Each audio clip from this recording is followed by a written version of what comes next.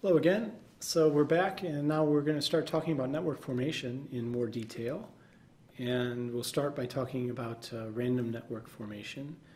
And um, just to sort of summarize where we've been and, and, where we're going, to put this in all in a little bit of perspective, we've we've talked um, a bit about the prevalence of networks. You know, they're, they're important in many contexts. Um, but uh, even though they're very complex, they have particular characteristics that we can uh, measure and, and, talk about. Small average path length, high clustering, um, degree distributions that have different shapes, um, things like homophily. Uh, we talked, we haven't really talked about assortativity, but that's something which um, will come up at some points, which, which actually means that higher degree nodes tend to be connected to other high degree nodes. We'll see that in some of the models that we come up with. Um, we've talked about a variety of uh, centrality, influence, prestige measures. Um, this, you know, there, there's always a room for study of methods. Which are the right methods? Which are the wrong methods? How should we be really measuring and, and uh, keeping track of net networks? So that uh, more or less took us through the first part of the course. So gave us some idea of backgrounds and fundamentals, definitions, and so forth to work with. And now what we're doing is starting to look in more detail at network formation. And we started by asking, uh, you know, uh, some of these questions in the context before uh, measuring path length and so forth. We looked at the Erdős-Rényi random networks. And here what we're going to do is break things into two different um, uh, approaches. One is sort of random network models that will be akin and, enrichments of Erdős-Rényi kinds of models. And then the other will be strategic network models, where instead of things links happening at random, what will happen is we'll have nodes actually choosing the links that they're going to form. And they'll choose them to, to benefit themselves. So these will be game theoretic kinds of models of self-interested individuals forming relationships and seeing how that uh, impacts network formation. So that's the, the main part of the course that we're transitioning into now. And um, when we start to think about the kinds of, of things that uh, we want to be asking, when we're asking which networks form, we'll get two different kinds of answers here. Okay, so we've got the random graph models are going to tell us a little bit about how, and the idea here is that they give us a process, and if we want to understand, you know, why uh, random networks have short average path length, then we understand that there's a tree structure underneath them, and that tree structure um, helps explain how it's easy to reach from any other node to any other node in a relatively short number of hops. Um, the economic or game theoretic kind of strategic models will answer why. They might tell us why would we see a, a, tree structure, not the fact that a tree structure does give you this property, but why would we end up having these kinds of shorter paths. Um, and more generally, we're going to want to keep track of, of how these things depend on context. And so what we're going to do is we're going to take these things in turn. We'll start with uh, looking at random graph models in more detail. Then we'll come back to some economic and game theoretic models. And we'll also talk about some hybrid models. Okay, so in terms of the uh, static random network models, um, why do we want to start with those? Um, you know, for two reasons. One is that they're going to be a very useful benchmark. And again, I've sort of emphasized this a little bit before, but I want to repeat it. Uh, by, by looking at what would happen if things were just happening purely at random, then we can look at what we do observe and differentiate that from what happens at random. Um, or get some understanding of what way it has similar features to what happens at random.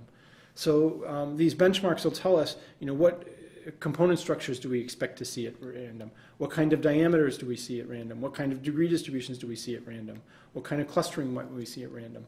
And so the, comparing things back to those uniform at random models will allow us to, to um, do some comparisons.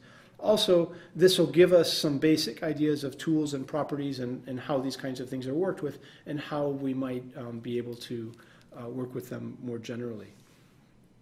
Okay, so um, what we're going to start with is the Erdős-Rényi random networks and, and, look at their properties in a little more detail. Um, and again, uh, if you remember these networks, these were the GNP model, where basically we've got n nodes and each link has a probability p of forming. And uh, the um, degree distribution in that kind of network was a binomial, um, which is well approximated by a Poisson distribution for large n and relatively small p. Um, So again, uh, when we're dealing with these kinds of networks, uh, part of the challenge is that every network actually has some probability of forming. And so how do you make sense of that? What we do is, is begin to prove theorems for large networks. So if n is large, then with a probability close to 1, certain kinds of things are going to be true. Now, in the way in which people begin to specify what might be true or what might not be true is by specifying what are known as properties. So in order to make this precise, let, let me just bring in a little bit of notation. So let's let um, G of n denote all the possible networks that could be put on a, a, set n of nodes. Okay, all undirected. So we'll just have these be 0, 1 um, relationships either there or not. And uh, no direction to it, no weights.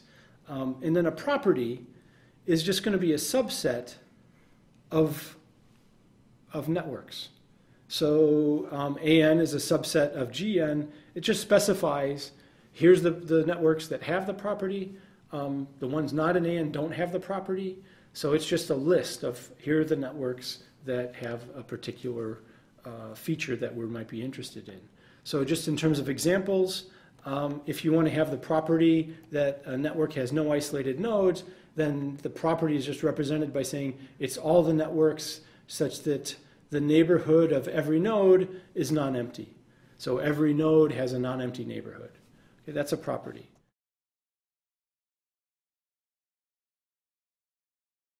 Um, another property would be that the network is um, connected. Um, so, for instance, that the uh, path length between i and j is finite for all pairs of, of nodes. Um, we could also have a property that the average path length is less than log n. Um, the, the diameter is less than uh, log n. So that would be another property. Okay, so each one of these is, a, is just specified in terms of here are the networks that have this, here are the networks that don't. That's, that's a mathematical way of representing a property of a network. Um, now, an important class of properties are what, known, what, what is known as monotone properties. And so what is a monotone property? A monotone property is one such that if some network satisfies that property and we add extra links, so we just increase the links in the network so that G is a subset of the links in G prime, then G prime also satisfies the property. Okay, so it just means adding extra things um, satisfies, keeps us satisfying the property um, you can go back and check. Every one of the properties we just talked about uh, is a monotone property. Okay. Now, something that wouldn't be a monotone property would be something like saying that uh, there's an even number of links, right? So if I add an extra link, now it turns odd. It's no longer satisfying the property. So there could be some things that aren't going to be monotone, but a lot of the properties we might be interested in. So you know, it being connected. Well, if I add more links, it's still connected. Um, so you know, not having isolated nodes. If I add more links, it doesn't have isolated nodes. So, so th that's a, that's a monotone property. Um, that the, the path length is shorter than a certain amount. If I add extra links, um, it still has a short uh, path length. So um, these are nice properties that will be easier to work with. Um, they don't sort of blink on and off as we change the, the link pattern. Okay, so what we'll be interested in then is um, limiting properties. So one way to, to keep track of these things is then to talk about large n, and then so we can, uh, for instance, look at a sequence of, of Erdős-Rényi, Poisson, or GNP random graphs, and then um, have some probability, and then talk about what happens as a function of the size of the graph. So this is one way of representing properties, and now we can take a look at some of those properties and understand what might be true or, or not true of those. So when do we have these things and when don't we? And just to preview ideas, one of the really nice things about the Erdős-Rényi setting and the GNP graphs, and part of the reason I think their work was so well known, is that there are very sharp thresholds um, for which uh, properties do or don't uh, aren't satisfied. So if we talk about how much does the average degree have to be, the average degree if it's above some level, then a property will be sure uh, almost surely true as you, as you get to, to large n. And if, it's, if the degree is smaller than a certain level, it might not be true. And so the idea here is that, that we'll have uh, nice thresholds which will sharply distinguish um, when a property is true and when a property is not true. So we'll take a look at that next.